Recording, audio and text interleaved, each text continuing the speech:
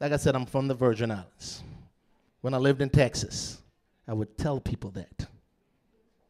Virgin Islands. Isn't that somewhere in East Texas?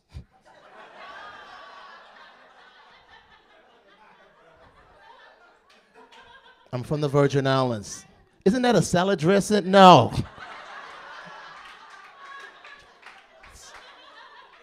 Trust me. and in Texas, and, and more so the South, if you have an island accent, you're Jamaican.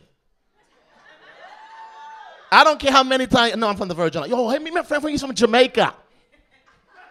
I'm from the Virgin Islands. And people say the funniest thing when they hear your accent in the South.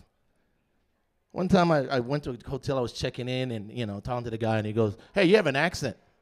I say, Yeah, I'm from uh, the islands. He go, Oh, you're not black, you're Jamaican. this is good to know if I ever wind up at a KKK meeting, you know what I'm saying? no, guys, you don't understand. I'm Jamaican. Put the rope up, man. I'm black. I'm Jamaican.